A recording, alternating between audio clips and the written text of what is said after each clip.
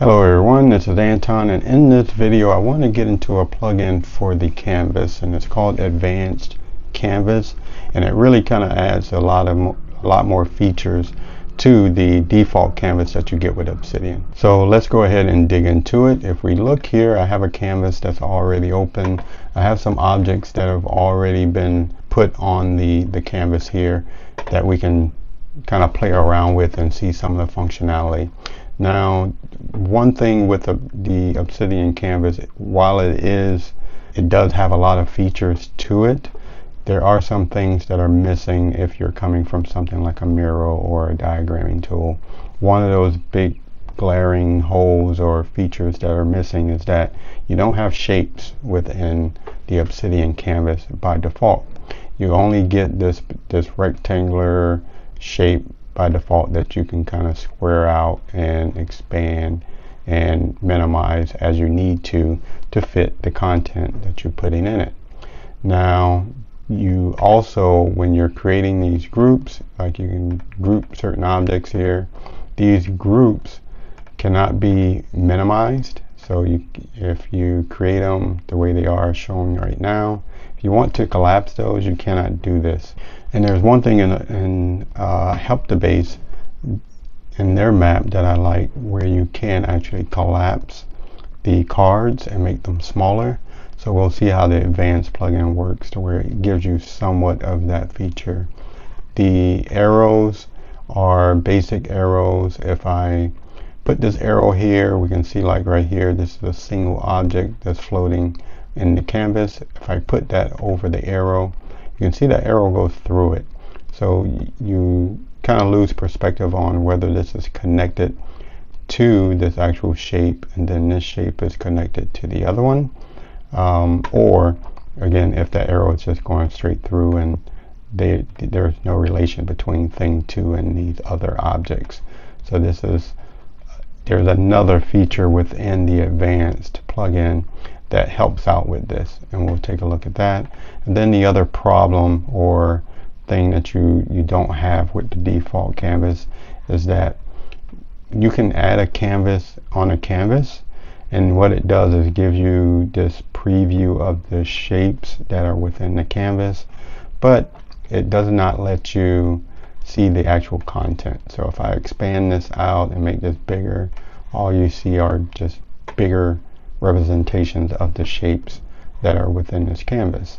And the advanced plugin will actually let you peek into that and we'll see how that works. Now I won't be getting to getting into all of the features for the advanced plugin, but let's get into some of the features that I've already called out, which have been things that have been a little bit challenging for me as I'm using this canvas that they fix. So if we go into the settings, you would go into browse, search for your plugin, and install and enable it. I already have it installed, so I'm just going to go ahead and enable it. And don't forget to go and take a look at their documentation. There's plenty of documentation on what you can do with this plugin, so I recommend you go and check that out. Let's go into the settings. In the settings here, we can get everything is enabled by default which is good. So right out of the box, you get all the full capabilities, but you can come in here and turn some things uh, off. And you can modify some of the configurations here like for the default text node. When you double click you get a text node in the canvas. It creates a basically more of a rectangular shape. That's one line in here you can make that uh, bigger or even smaller.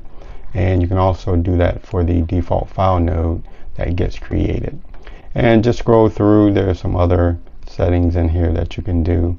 Again I won't go through any of these here right now but you can play with those later. Now one of the things I mentioned were the, with the groups and where, the, where you could not collapse them. So here I can actually collapse these groups now that feature works pretty well there we go and also the shapes. So I mentioned that by default you do not get different shapes. We can see here once I enabled that plugin these shapes showed up and these were shapes I used the plugin to create these but once I unenabled the plugin these all reverted back to the default. But if we click on one of these shapes, we click on the little shape icon here in the menu, you have all these different types of shapes that you can leverage within, within your canvas now. We can also see here with the arrow where I mentioned the arrow was going through this particular shape. Now if you move the shapes around, the arrow, depending on what type it is, it actually tries to go around the actual shape click the shape, click on this little shape tool here or edge path route um, option here. And then if you click on the one that has the little navigation arrow here with an A when you hover over it, this one here will um, change this particular arrow so that it tries to go around objects as, and not go through them. You can also change this to where it's more squared off if we look, take a look at this particular shape now, square it off. We can make it a straight line, um, or we can just change it back to its default state, which would be here. And then the other kind of big feature plus of using this plugin is that with the canvas, as I mentioned before, you can only typically like click into the canvas and then go to the canvas and open it up with without the plugin, the advanced plugin. But now you can actually come in here, you click on it, you hit this open portal, and then it will actually expand that canvas out for you. And you can see everything in this parent canvas without having to uh, click into the canvas that you have set up here. One other feature that you might want to use, you can you can set up a presentation with your with your canvas. And here at the bottom, you have a menu here where you can drag a slide over. So if you want to create one slide one, you can come in here. You can have uh, certain things within slide one. And we can see I have this stuff here. And it also put by default that first slide that I drug in here as the starting point.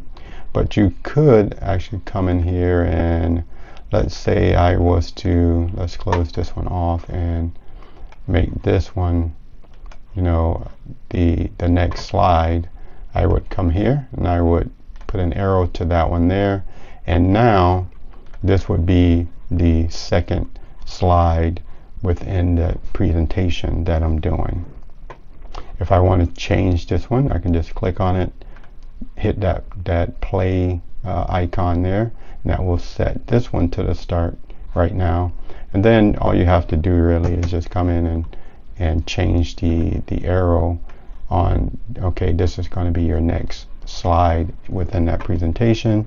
And then subsequent slides just do the same thing. And one other notable feature to, to call out here is border styles that you can do now. Let's go ahead and zoom in on this particular shape we can come in here and we can change the border. So the default is filled in, is solid. And if we go ahead and change this to dash, we can see what that looks like there. Let's go ahead and change it to the dot. We see the dot grid. The dot and the dash doesn't look too different. You can see that there are more dashes here, um, but they're pretty similar. And then you can also hide, um, or let me see, I did the dash, I did the dot, yeah, you can make this invisible where it hides the border, but it, you can still see an outline here. So it's not, I guess, technically invisible. Or maybe they're just considering the outline is just more of a shadow. Uh, but you still can see somewhat of an outline around that shape. So we covered portals, peeking into portals, or having portals to see the content of a canvas that's within a canvas, the border styling, the arrow styling, the minimizing of group. Now I didn't go into every feature of the advanced plugin. There are some more. I encourage you to go and read the documentation, install it, play around with it. It is one of those uh, plugins that if you use the canvas, I think it's a must have. So check out the plugin if you like it leave a comment in the comment section of the video about what you like, maybe what you don't like, and uh, reach out to the developer if there's some things or feedback you want to provide for improvements of the plugin. Okay, that's going to do it for this video. If you found got value out of the video, don't forget to like and subscribe to the channel. And until the next time, have a nice day.